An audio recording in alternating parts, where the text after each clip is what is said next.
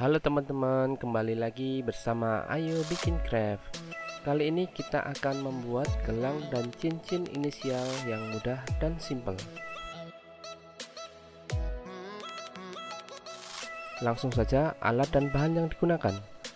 Tali Korea 1 mm, manik huruf, kita pakai manik huruf pipih gunting, dan korek api. Pertama-tama, potong tali korea sepanjang 44 cm.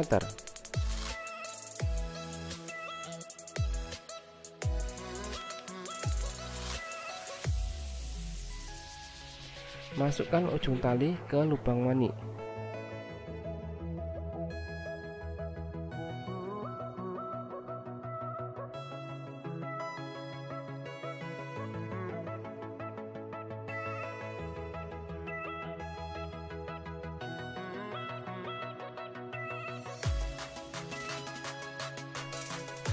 Lalu kita buat simpul dengan membentuk huruf U di atas tali.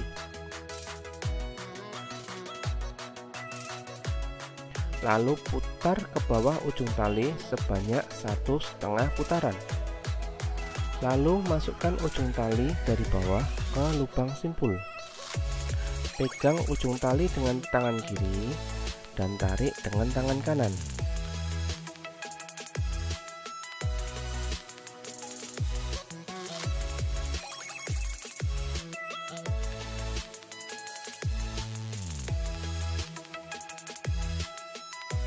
Lalu buat simpul yang sama di ujung satunya.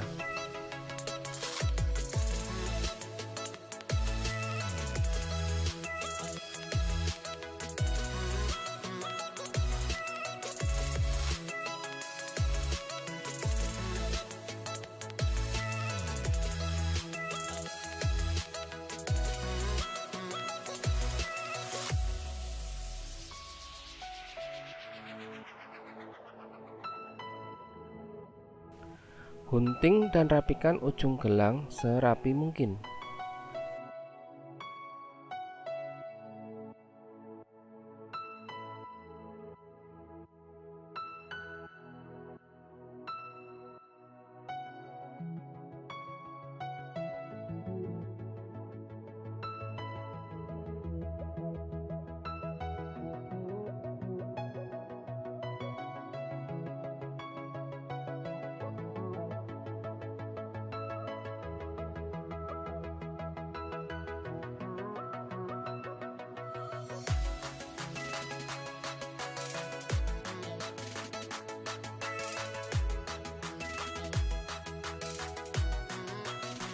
Lalu untuk pembuatan cincin, ukur diameter jari dengan menggunakan tali.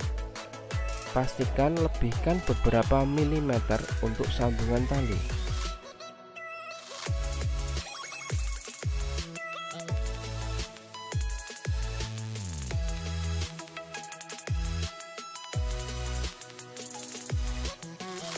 Masukkan ujung tali ke lubang manik.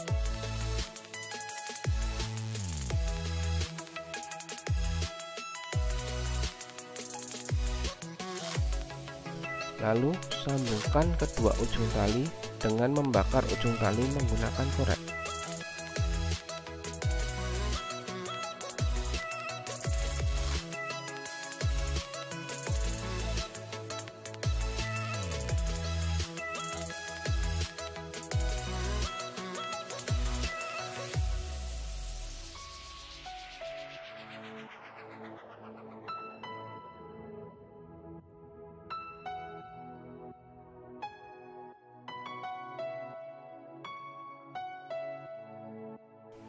Terima kasih sudah menonton channel kami.